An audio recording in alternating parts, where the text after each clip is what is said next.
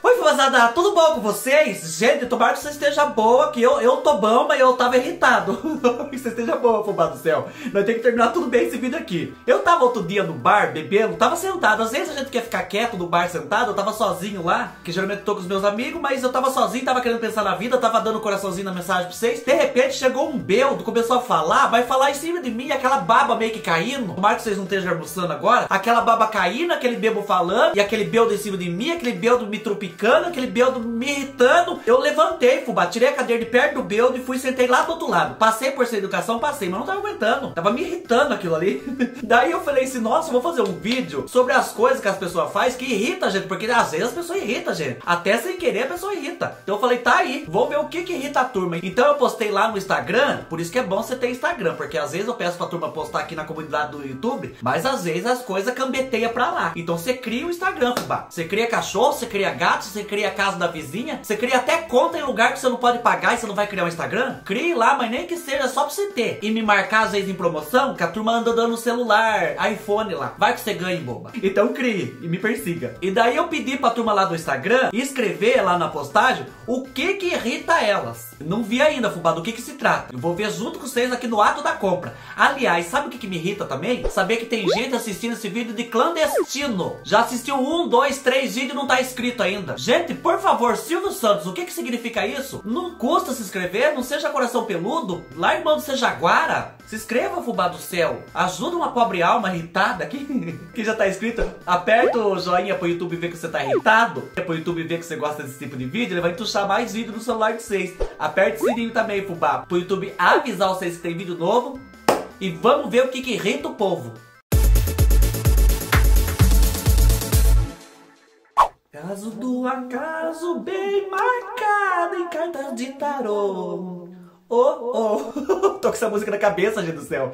Mas faz horas já. Vocês sabem qual música que é? Um beijo pro asilo que vocês vivem. Vamos ver aqui o que que irrita a turma. Nossa, tem 250 pessoas irritadas. A pessoa que acorda de manhã toda animada, conversando e cantando me irrita muito.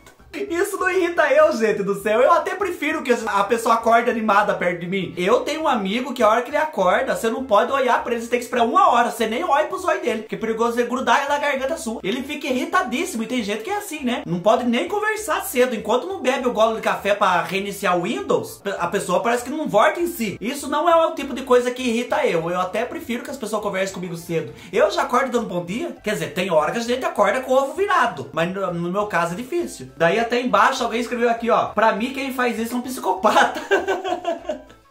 Vou achar mais aqui. Conversar e ficar me colocando a mão. Misericórdia, vou dar, um soco. Ai, gente do céu, isso irrita mesmo. Ai, eu tenho pavor de gente que vai conversar e faz assim, ó. Vai conversar e dá uma cutucada. Daí, às vezes, você até queria saber do assunto, você não quer mais saber por causa dessas cutucadas, a relação de mão. Daí você vira de costas e é pior, a pessoa me te puxa. Ai, eu tenho. Gente, eu tenho vontade de grudar a pessoa pro cabelo quando ela fala e vai relando em mim. Geralmente, quando acontece isso, a pessoa vai relar ou vem pra trás. Ela vai relar ou vem pra trás. Pra ela perceber que eu não quero que rele em mim. Ai, a pessoa triscou o dedo em mim pra falar assim, eu já fico irritado, já fico pela hora da morte. O pior é quando tá bebendo e agarra, gente, né? Porque tem gente que não contenta só em relar, tem que agarrar. Eu conheci uma mãe de uma amiga minha, que uma vez nós tava conversando com ela assim, nós tava falando, porque ela tinha mania de agarrar a gente, sabe? Uma abraçação e pega no braço da gente, engancha assim, igual par de quadrilha. Eu falei, ai meu Deus do céu. E tava me sufocando aquilo. Daí eu falei pra ela assim, não posso falar o nome dela, né? Senão a minha amiga vai saber que é a mãe dela. E daí eu falei pra ela assim, fulana, nossa, eu não suporto que as pessoas fiquem falando e fiquem me agarrando, me pegando. Ela me pegou no braço assim, fubá, me enganchou. Falei, eu também não suporto isso. Ai, dá vontade de bater a pessoa.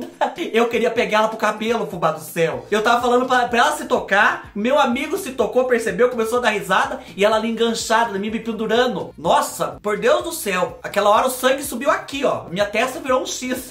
Como que chama o remédio pra pessoa que tá irritada? Vou ter que tomar aquele remédio lá. Escreva aqui que eu nem sei o remédio, não vou tomar. Maracujina? É maracujina?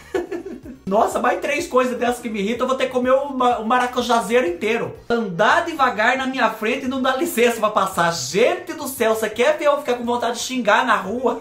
é aquelas pessoas que andam devagar na frente da gente. E pior que geralmente quando acontece isso, não é pessoa magrelinha não, querida. Ou é uma mulher mais rechonchudinha, ou é um homem barrigudo, ou é uma mulher com o quadril avantajado. Daí tá aquela mulher andando com a bolsa aqui no ombro pra ajudar a ficar mais largo, pra tampar o caminho. Vai aquela mulher andando assim, ó, bem devagar, bem de gavar. E você ali querendo passar, não consegue. Vai pra lá, não consegue. Parece que o lugar você vai, a mulher anda pra cá. Você vai pra cá, ela anda pra cá na sua frente. Gente, dá vontade de vir correndo, bater a unha nas costas dela e pular por cima, igual aquela brincadeira da unha na mula. Mas me dá um ódio de pessoa andando na minha frente. não vai logo. Não dá licença. Ah, principalmente quando você tá com pressa pra pegar um ônibus, por exemplo. Você tá atrasado, você precisa chegar no horário do ônibus. A bendita da mulher tá ali na sua frente andando, fubá do céu de gavar. Dá vontade de passar a rua beliscando tudo assim, ó. Vamos, vamos! Que eu tô com pressa. Ó, aqui, por exemplo, tem um relato de uma pessoa aqui, ó. Já empurrei gente assim na rua por conta disso. Geralmente não faço, mas nesse dia tinha ficado agarrado no trabalho e tinha prova no curso que fazia depois. Não pensei duas vezes. Por que fazer isso? Tá ali, tá vendo que todo mundo tá com pressa, tá andando? Ande correndo também. Dá vontade de empurrar a pessoa. Me dê licença. Olha essa aqui, ó. Ficar desfilando quando estou limpando a casa. Ai, isso irrita, gente. Olha, eu vou ser bem sincero. Você tá ali sofrendo, que nem uma cadela, limpando a casa. Tá varrendo, a hora que você vai passar pano no chão, que você acha que tá terminando, e a pessoa fica passando fica desfilando. Ah, eu vou falar bem a verdade. Pior que tem gente que passa por cima da sujeira e finge que nada tá acontecendo. Você acabou de varrer um cômodo, passa a pessoa levando a sujeira de volta. Não dá vontade de pegar a vassoura e quebrar o cabo na costa da pessoa? Ou você tá passando pano, tá esperando secar. A gente fica no lugar para esperar secar. Passa o boneco lá tatuando o chão, havaiana, havaiana, havaiana, havaiana. Ah, gente, por Deus do céu, dá vontade de fazer comer o rodo. Começando pela parte da borracha.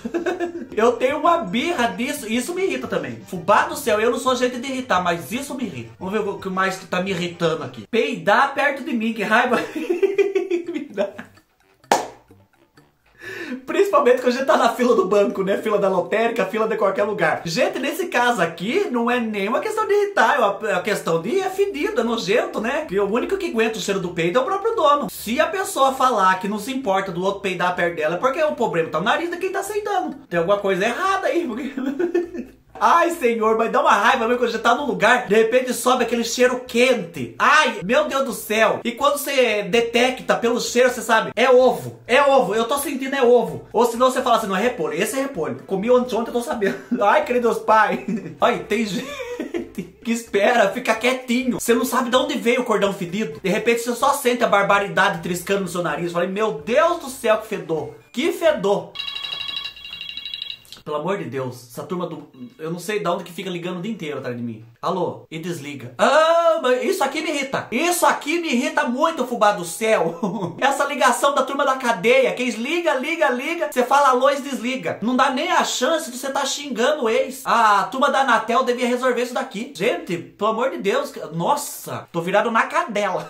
Vamos ver mais coisa que irrita aqui, fubá, que eu tô irritado. Que ficam espichando o zóio quando estou na internet. Ah, isso daí irrita mesmo, né? Você tá no celular bem quieto, a hora que você vai pra cima, a pessoa tá que nem um urubu olhando o que você tá fazendo na internet. Principalmente quando você tá no ônibus. Não dá uma raiva? Você tá ali bem mexendo nas coisas, a hora que você vai ver, tá lá o telespectador. Dá vontade de falar, bata palma pra teia. Chacoalha o negocinho igual tinha no Silvio Santos. Nossa, esse dá um ódio mesmo, né, fubá? Que a gente quer ver a internet quieta. Se a gente quisesse ver a internet junto com os outros, a gente colocava no telão. E cobrava a entrada do povo ainda. Nossa, isso me irrita. Dá vontade de falar, você perdeu o zóio aqui no meu celular?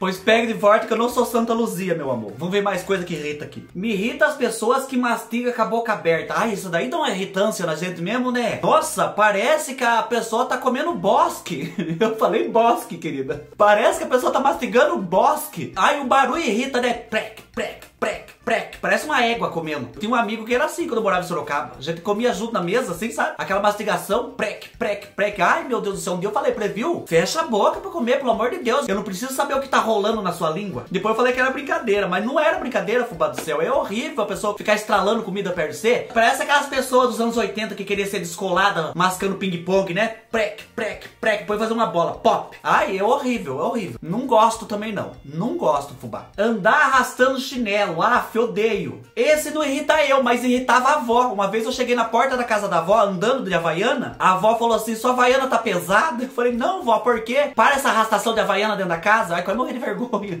Depois eu só ia lá de botina, que eu não tinha tênis naquela época, eu calçava botina. E daí eu só ia de botina na casa da avó, de medo da avó xingar eu. Mas não irrita eu, não. Eu acho até bonito o estralo da Havaiana, eu acho chique, querido. A Havaiana é agro, a Havaiana é pop, a Havaiana é tudo. Vamos ver aqui. Aparecer em casa sem avisar, isso me dá um ódio.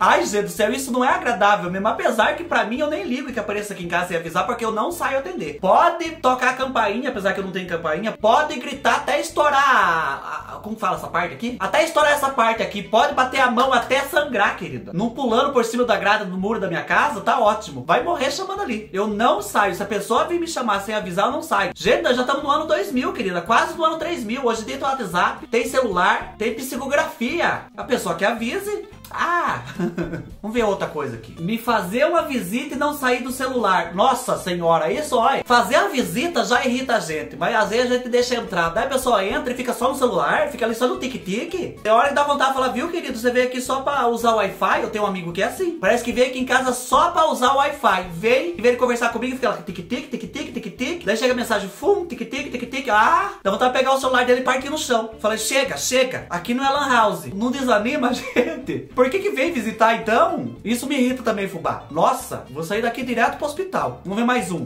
Pessoas que se atrasam. Fico louca quando marco horário e chego bastante tempo depois. Gente, que é uma coisa que me irrita é isso. Eu sou exatamente pontual. Se eu marco com 6 para chegar 5 horas, 5 horas eu tô lá. Mas quer ver, eu, ai, eu fico possesso da vida de gente que marca e a pessoa não aparece, daí você liga para saber o que tá acontecendo. Ai, tô tomando banho, já vou. Ah, pra que, fubá do céu? Já inventaram relógio pra esse tipo de pessoa poder se organizar e nem assim eles conseguem. Olha, eu fico irritado, eu, eu não gosto. Eu quando marco de algum lugar e a pessoa não aparece no horário, dá vontade de ir deixar a pessoa pra ser como lição. Pior que se você faz isso, o bendito você faz de coitado. Depois, ai, deixaram eu, só tava tomando banho. Nossa, me deu um ódio. Nossa, eu, eu vou sair desse vídeo aqui, eu vou direto pro psicólogo, querida. Se eu não sair daqui numa camisa de força. Vamos ver mais coisa que me irrita. Homem que gospe no chão. Não tem coisa que me irrita mais. Meu vizinho faz isso. Ai, gente, a mãe tem um vizinho assim também. Aquele vizinho, toda vez na hora do almoço, ele vinha na casa da mãe. Vinha a mãe falar, quer almoçar? Ele falava, não quero, obrigado. Deus ajude, Deus abençoe. E ele ficava na porta, parado no batente, assim, ó. E ficava ali conversando. Na hora que você tava comendo, eu vi o vizinho rápido jogava no chão. Ai, mas todas as vezes, fubá, se ele não desse pelo menos três cuspidas no chão, aquele vizinho não era nosso vizinho. Então, um dia eu falei, mãe, pelo amor de Deus, não abra a porta pra ele entrar na hora do almoço, ele vem cuspir aqui. A mãe falou assim, você quer que eu faça o quê? Eu falei, não abra a porta, mãe do céu. Mas na minha cidade é diferente da cidade grande. Aqui é tudo aberto, portão, porta, até a porta do banheiro. É perigoso a pessoa sair da rua, entrar no seu banheiro, fazer necessidade lá dentro, der descarga e sair. Isso se der descarga. E esse vizinho era desse jeito. Ele vinha na porta de casa escarrar. Ai, meu Deus do céu. Homem sem educação me irritava também. Me irrita pessoas que arrotam para todo mundo ouvir. Ai, gente, isso irrita mesmo. Meu Deus do céu. O pior é você sentir o cheiro da mortadela, o cheiro da linguiça, o cheiro do pimentão. Ai, gente do céu, pra que, que as pessoas fazem isso? Parece que é um orgulho, né? Acabou de comer. Ah, credos, pai. Isso irrita, fubá. Vai a algum lugar, sai de canto, faz assim com a boquinha. Arrota pra dentro que seja, né? Que depois sai por outro lugar. Mas, meu Deus do céu, pra que arrotar perto da gente? O pior é quando tem duas pessoas que faz assim, um arrota, outro responde. A gente se sente no meio de um chiqueiro de porco. Ai, gente do céu. Não gosto que arrota perto de mim também. Não gosto. Pessoas que ficam chupando o nariz perto de mim. Ai, fubá do céu. O pior de tudo que quando eu tô meio gripado, eu faço isso. Toda hora eu faço assim, ó. Quando eu tava na Alemanha, se vocês não viram o vídeo da Alemanha, Fubá, tem uma playlist aqui no canal, procura Fubá Online Alemanha. Veja o que, é que eu passei na Alemanha. E lá, eles têm um costume diferente do da gente. E eu lembro que um dia eu tava almoçando, tava frio, frio, frio. E quando fica frio, o nariz da gente fica meio escorrendo, né? E daí eu tava comendo uma comida que era pimentada, tem uma coisa de pimenta lá. E o nariz escorre mais ainda com pimenta, né, Fubá? Eu senti a gotinha vinha aqui assim, ó. Tinha várias pessoas na mesa. Eu meio que fazia assim, meio que sem graça. Puxa. puxar bem de cavalinho, fubá, vinha assim, como ninguém tava indo, dá uma puxadinha assim de inocente, sabe? A hora que o meu amigo percebeu que eu tava fazendo aquilo, ele falou, pode só o nariz. Eu falei assim, ai, graças a Deus, eu, desculpe, eu, eu não tô aguentando porque tá muito frio. Ele falou, não, pode só o nariz. A hora que eu fui levantar, ele falou, onde você vai? Eu falei, eu vou lá só o nariz. Ele falou, não, sou aqui na mesa. Eu falei, como assim? Ele falou, não, aqui todo mundo tá acostumado a suar o nariz na mesa. Fubá, por Deus do céu, eu não sei se é a Alemanha inteira, eu não sei se é a Alemanha, ou não sei se era só na casa dele. Ele pegou o guardanapo, colocou o nariz e vap, assou o nariz ali, fubá. Meu estômago chegou a revirar assim, ó. Fiquei com o banheiro virado o resto do dia.